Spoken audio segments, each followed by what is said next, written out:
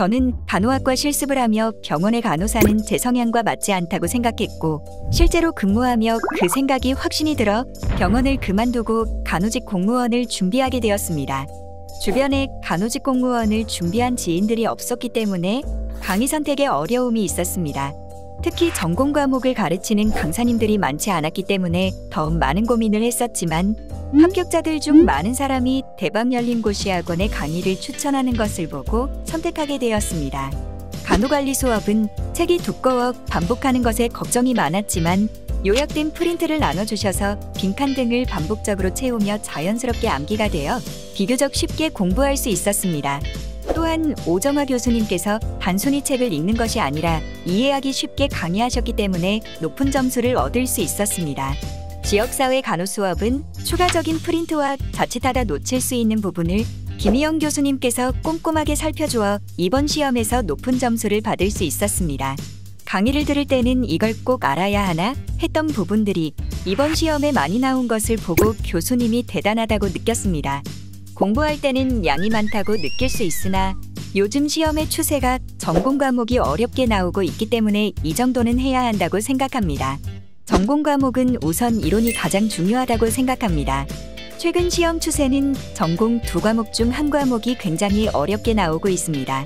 그 당락을 결정하는 어려운 부분들은 기존 문제에서 나오지 않은 것들이며 이론적인 것을 모르면 풀 수 없는 것들이기 때문에 무조건 이론은 확실히 알고 문제로 넘어가는 것이 중요합니다.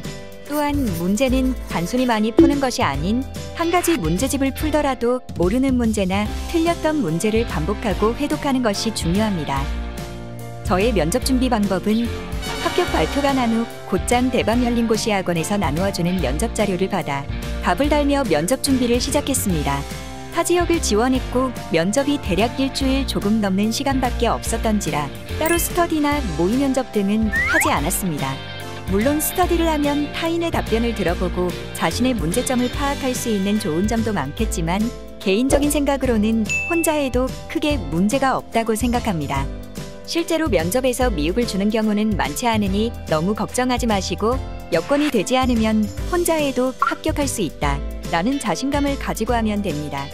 팁이라 하기엔 부족하지만 학원에서 나누어주는 면접 자료만 잘 준비하면 실제적인 질문들이 그 틀 안에서 크게 벗어나지 않기에 면접 자료만 믿고 준비하시면 될 것 같습니다. 저는 병원 동기였던 친구들이 모두 짧은 시간 내에 공무원에 합격했기에 아그로깡으로 더 열심히 했었습니다. 물론 잘 안 될까봐 두려워하고 불안해하기도 했지만 그렇게 떠는 시간 자체가 사치였기에 생각 자체를 안 하려 노력했습니다. 또한 그런 생각이 들어 불안감이 엄습할 때는 곧장 밖으로 나가 2시간 정도 걷는 것을 통해 기분 전환을 시켰습니다. 그렇게 시간을 쏟고 나면 공부할 시간이 적어졌기에 더욱 집중을 할 수 있었습니다. 솔직히 말하면 걱정하는 시간이 슬럼프란 이름을 가장한 게으름이라고 느껴져 스스로 한심하게 느껴졌기에 많은 채찍질을 하며 슬럼프를 극복했습니다. 사람마다 공부 방법, 습득하는 시간 등 많은 차이가 있습니다. 저 또한 머리가 좋은 편이 아니기에 한 번의 실패를 딛고 합격했습니다.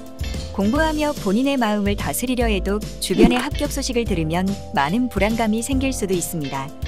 하지만 스스로 하루하루 정말 열심히 했다 라고 느낄 정도로 앞만 보고 공부하면 꼭 합격할 수 있을 것입니다. 자신을 믿고 앞만 보고 가세요.